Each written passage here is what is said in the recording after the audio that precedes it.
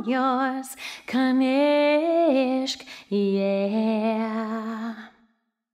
One happy birthday dot com.